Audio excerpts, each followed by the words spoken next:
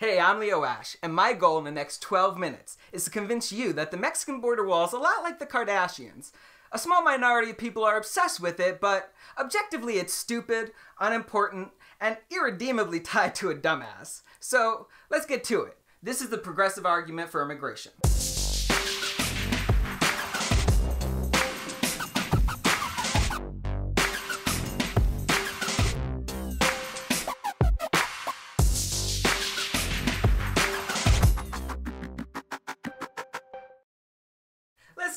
Some background info. Immigrating to America is a long, expensive, and tedious process, which is why most poors need not apply. Those who come to America legally fit into four categories family sponsored, employment based, refugees, and then everyone else. At 68%, the largest group of immigrants coming here is through family or marriage. After that are those coming here to work or as refugees. Keep in mind that the United States has annual limits on how many immigrants can come from each of these categories, as well as limits on how many people can come from each country. Now, what Trump calls chain migration is merely the legal use of the immigration system to bring your family here, like he did with his wife. That said, obviously every system is open to a certain level of abuse, and there are some problems, mostly coming from employers using the system to exploit cheap labor, Si supiera cómo gente que tiene adentro con papeles nos trata tan mal a nosotros. But despite the anecdotal evidence that you hear on Fox News, our immigration system is not being widely abused. But more on that later. Moving on to undocumented immigrants. The number currently living in America is around 11.3 million. So, altogether, legal immigrants make up roughly 14% of the total US population, while undocumented immigrants are a mere 3%. And finally, let's talk about the refugee system. Now, a refugee is someone who flees their country out of reasonable fear of persecution due to their race, nationality, religion, political views, or social group. And FYI, old white people, refugees can legally apply for asylum status under US and international law, including people already here or at the border. But don't shit your pants yet, because refugees must go through the most thorough vetting process ever. Oh, you don't believe me? I think they want some examples, Pierce. Okay, let's give them some examples. Troy, drop a beat. Just give him some examples. Check it. Here's the rigorous four step process. First, you have to register, interview, and get screened by the United Nations High Commission for Refugees. And of those who pass that stage, less than 1% immigrate to America. So, if you're one of those secret refugee terrorists that keeps Tucker Carlson's wife up at night, since you know Tucker Carlson isn't, boom! If you are one of those secret refugee terrorists wanting to infiltrate America with absolutely no history of crime or connections to terrorism, you're still over 99% more likely to be settled somewhere else. And because we're America, we get to pick the best immigrant draft pick candidates every year, like we're the Yankees. And white people used to be all about drafting colored people from other countries. Anyway, those less than 1% who do come to America are still on average 18 to 24 months away from getting here because now they have to go through biometric screenings and an intense interview process by all of these agencies separately. The National Counterterrorism Center, the FBI Terrorist Screening Center, the Department of Homeland Security, the State Department, USCIS, and lastly, the U.S. Customs and Border Protection National Targeting Center.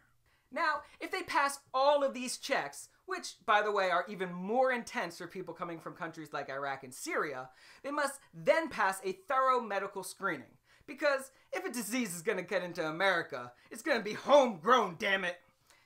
And finally, they go through cultural orientation, which I assume is simply watching the Disney or Pixar movie that best corresponds with your race.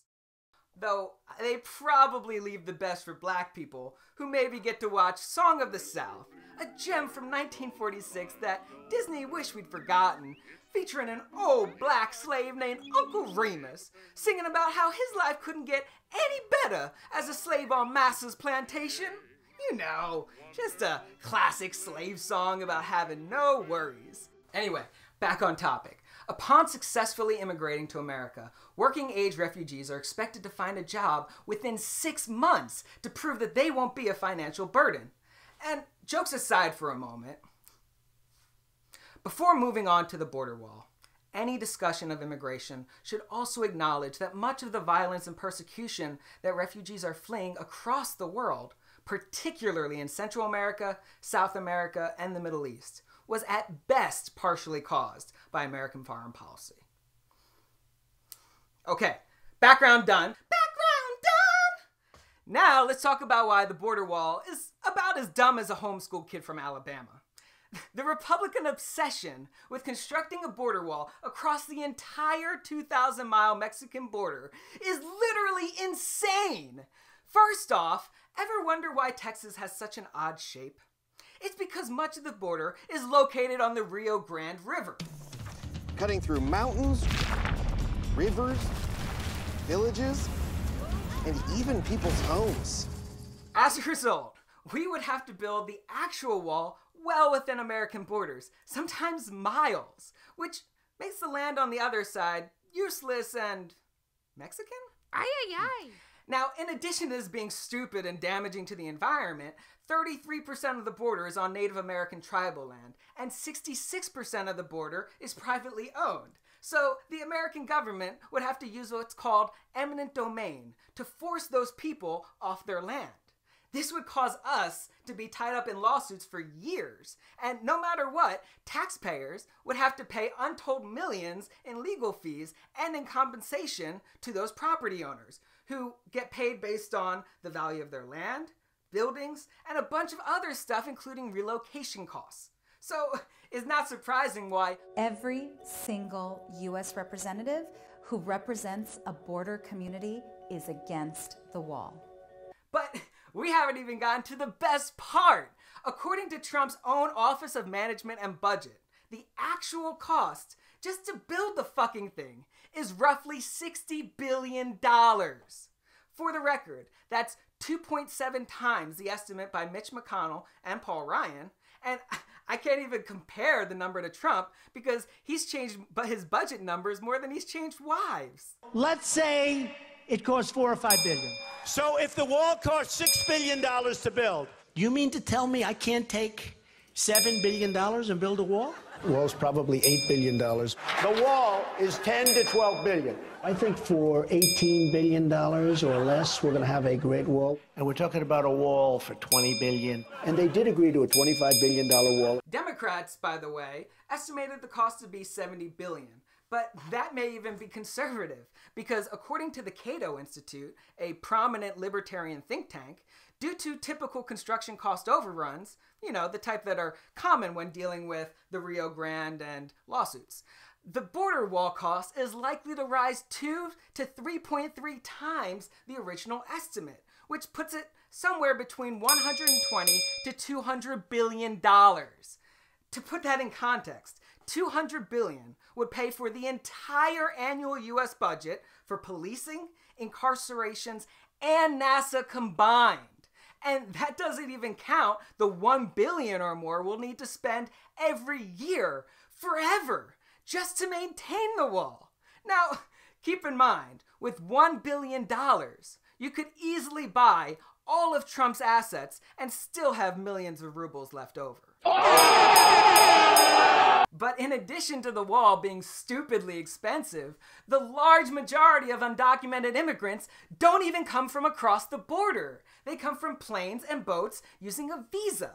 In fact, since 2008, more undocumented immigrants have arrived by visa overstays than by the Mexican border, a pattern that has only increased over the years. Now, if you strictly use government data, the percentage of visa overstays versus border crossings is currently roughly 90% to 10. But I tried to confirm those numbers with the Nonpartisan Center for Migration Studies. And after speaking with Robert Warren, one of the foremost experts on this topic, he said that the DHS numbers were inflated. And in reality, visa overstays account for roughly 67% or two thirds of undocumented immigrants which is still the large majority. And keep in mind, this can always shift even more. Or, as Trump aptly put it, if there's a concrete wall in front of you, go through it, go over it, go around it, but get to the other side of that wall. Which brings us to the final problem. You forgot about tunnels, dumbass! Mr. Trump was told some border crossers have been digging tunnels under areas where walls are already in place. This is a tunnel. This is the second tunnel that recently that we have located. This is an area that we actually have wall. Tunnel drug smuggling was actually pioneered back in 1989 by El Chapo, the most infamous drug trafficker in modern history. And the sophistication of these tunnels has only grown. In 2016, we found a tunnel that ran more than half a mile from Tijuana all the way to San Diego and was equipped with ventilation, rails, and electricity. In total, 224 tunnels have been found around the Mexican border since 1990. And while the border wall only goes six feet deep, tunnels can go as deep as 70 feet.